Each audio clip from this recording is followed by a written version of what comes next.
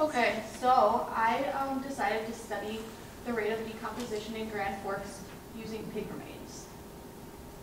So, So your name is, uh, uh, my name is Christine VanBrocklin, and I'm a forensic science and anthropology major. So why study decomposition in Grand Forks? Grand Forks has been labeled as the coldest city in the, or the coldest state in, and city in the contiguous 48 with the lowest average monthly temperature in the winter months. And currently, there is no typical decomposition pattern that can be followed in colder climates. And the reason like understanding decomposition is so important is because if you can determine when someone died based off of the decomposition, you can um, relate that back to the suspect in their alibi, figure out where they were at the time to see if maybe they potentially killed the decedent. So there's a general decomposition pattern that can be followed in most climates. And within the first 24 hours, there'll be a likely greenish discoloration. Within the first of, of the lower right abdomen, within the first 24 to 36 hours, the greenish discoloration will be of the entire abdomen. Within the first 36 to 48 hours, you'll see marbling or purplish lines of the body and bloating of the face. Within 48 to 60 hours, you'll see desiccation or drying of the fingertips. Within 60 to 72, bloating of the entire body. Within 4 to 7 days, the skin will bleb or blister. You'll have fluid seepage, uh, hair sloughing or falling off, uh, skin slippage, and the putrid odor. Within days to weeks, you'll see uh, dehydration of the body tissues, and within weeks to months, the adipocere formation, and that's uh, the transformation of the fat into a waxy substance. And then lastly, mummification and skeletonization. So for this study, um, the first step, I, the thing I needed to do was create a scavenger box. And I, I went to Menards and I got two by threes and one half inch mesh fencing that was placed over the openings. And the reason I decided to use this is because, well, first of all, if I have scavengers coming in and scattering the pig remains across campus, it, would, it wouldn't really be a good thing. And uh, students would be freaked out. So also, I specifically wanted to eliminate the factor of scavengers just to study exactly how the climate will affect the rate of decomposition. So that was really important, and most of the studies I had read up on had used scavenger boxes to eliminate scavengers. So, and then to begin, on uh, January 7th, 2019, a pig weighing approximately 45 pounds died at 8:30 a.m. and at 4:05 p.m. the pig was placed in the scavenger box. Um, right, right around here by the coulee. This is the wellness center, and the pig's like right in there. So data collection. Every day I went out and I grabbed temperatures with my infrared thermometer. Um, I got one reading of the pig itself, and then when the snow covered it, I would just read the surface temperature of the snow and then the ground near the pig. Um, I used a, Das- data logger, and I uh, put one next to the pig, and then I put one hanging from a tree to record air temperature, and that recorded temperature every 30 minutes along with dew point. And then every day I also um, got photos to monitor the visual changes. Once the snow began to thaw, there was a lot of animal activity, so uh, I put a trail cam out on the site to record the scavengers that did come, just to kind of log what was there and what animals uh, would be of interest here. And then also on top of that, uh, daily weather data was recorded from Grand Forks International Airport and then compared to the weather on site. And then here is a video clip of the visual changes.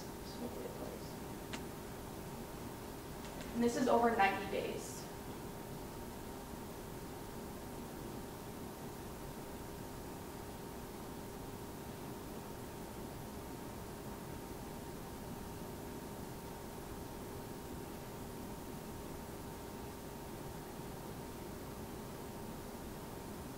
And there's when the snow begins to hit, as you can see.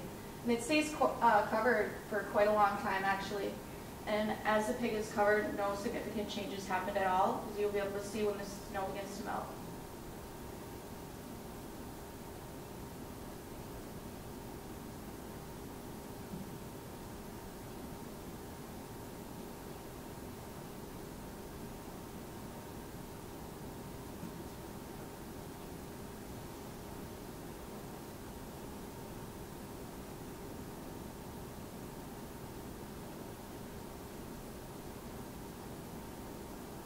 Lots of snow, as you guys remember.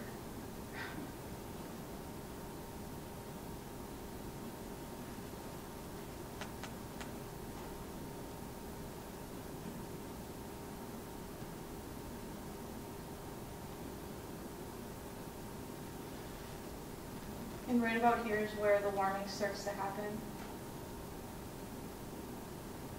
And there's the thaw beginning.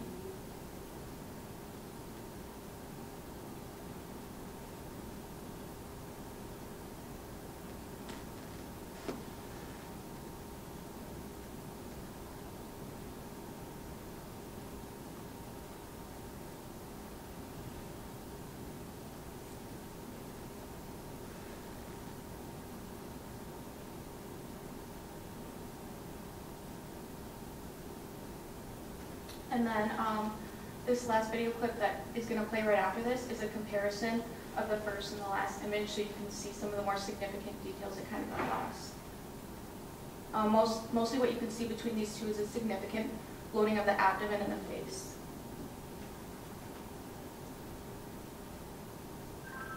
So um, results, uh, marbling occurred on day 77 or March 25th, and that was 12 days into the snow thaw. That normally appears uh, 36 to 48 hours after death. Folding of the face occurred on day 78. That was 13 days into the snow thaw. Uh, that normally appears also 36 to 48 hours after death. Folding of the body appeared day 83. Um, that was 18 days into the snow thaw. That normally happens uh, 72 hours after death. And then um, I still have yet to observe blistering of the skin and fluid, fluid seepage.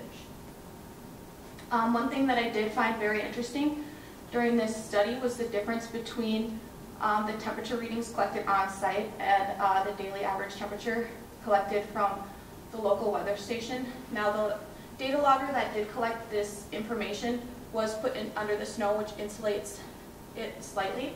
So the temperatures were going to be a little bit higher, but overall the general same pattern is followed. And here's a table that kind of summarizes it. So the average temperature on site was recorded to be 14.1 degrees Fahrenheit, and at the weather station, their average air temperature was 6.9 degrees.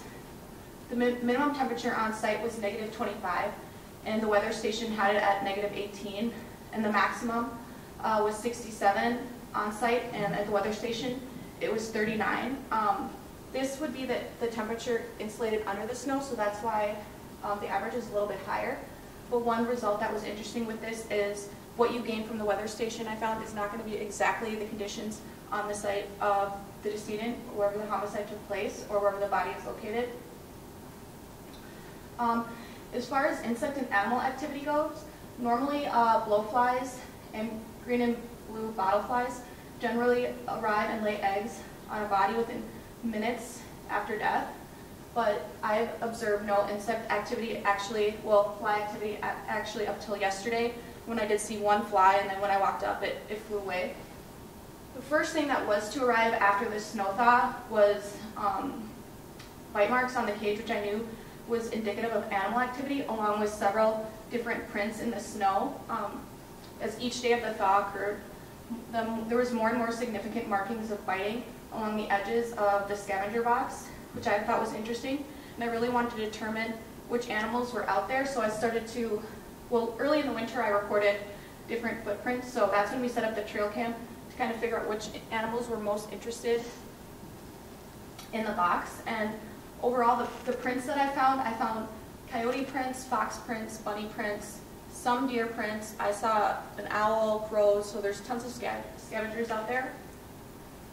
And then um, the fox was one of the most uh, frequent visitors of the box, surprisingly. Um, I've caught him several times on the trail cam, and I have a little clip of him out there, actually. so he's uh, come and visit several times, and he's actually shown a lot of curiosity in the pig. So I haven't reported anything biting on the box. Uh, most of the bites are on the back. So. But he comes back around right there. and this is just an overview of the findings of my report. Um, basically with my report, my main goal is to be able to look at the significant markers of a decompositional pattern such as bloating of the face, body, the purple marbling, and determine which day it will appear after the thaw.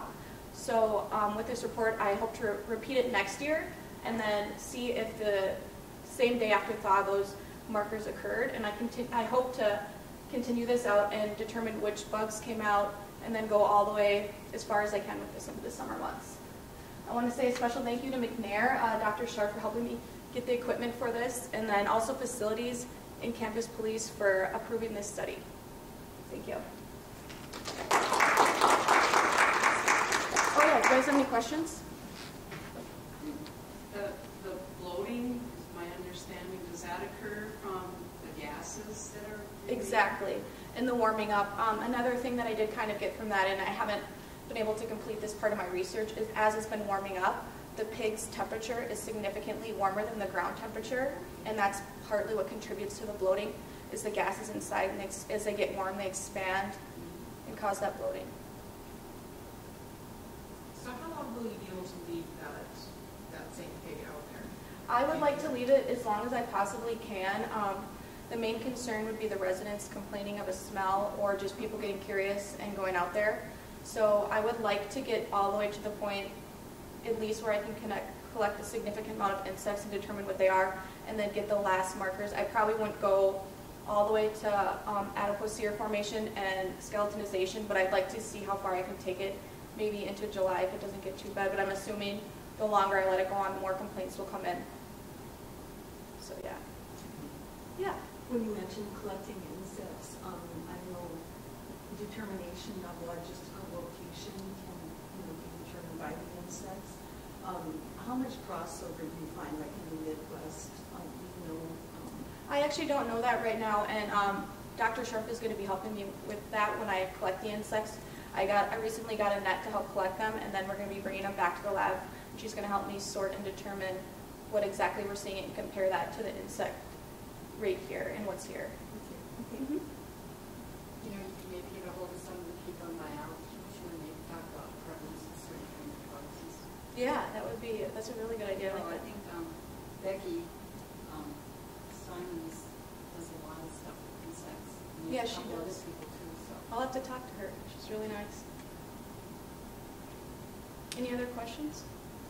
Where did your idea for this study uh, originally come from? Well, um, I had so much fun with field school, and then when Dr. Stubblefield left, I was pretty sad. So, okay, so field school is when they take uh, pig remains and they bury them on campus, pretty deep actually, probably a couple, four feet deep. And then we uh, use specific clues that are given to us to figure out, and add on the ground, like the ground scar, to figure out where they are. And then we learn the proper techniques for excavation, and we bring it back to the lab. And then we get the, the pig down to um, skeletal material, and then analyze the trauma, and learn the whole process from excavating it out of the ground to the, all the procedure in the lab. So I wanted to kind of do what I could here with what I knew, and then I researched similar studies that had been done, like, and one I really looked into that was kind of similar to mine was how clothing affects the rate of decomposition, and there's a ton of different studies like that, and so I just want, since our climate is so unique here, I thought that'd be a great um, angle to look at it, because there is no typical pattern that can be followed for extreme climates, extreme cold and extreme heat. There's just a general one for most climates that's followed, so I kind of want to get an idea that can be, maybe this information could later be used for homicide cases. I just thought of something, you said clothing, you could put a shirt on the pig next time. I actually thought, like, should I have done that or not? But a lot of the studies I had read about clothing found there to be minimal to no effect of clothing at all whatsoever. So, because I thought, I, like, I had made a significant error, but when I really looked into depth out of all the studies I had read, clothing almost made no difference. Which was, I thought that, I, I assumed it would have, but Well, yeah, but a lot of that stuff's in journals, so that's. Yeah. that too. Yeah. And I visited with you um, a number of weeks ago. You talked about the, the bearing on uh, Dru Sjodin. Yeah. Yeah, well, with the Dru Sjodin case, uh, when they found her, they had they kind of had trouble like by looking at her and determining her time of death. Like they knew when she went missing, but at first, upon initial examination of the body, she appeared to be dead, not as long as she did, and they were kind of confused, and it threw people off. So hopefully, with a study like this, um, when someone is found in a colder climate, they can use this information, you know, to, to find the victim's family quicker, or if there isn't a big media, you know, it will help locate the victim's family or you know, identify the victim and potentially the suspect too.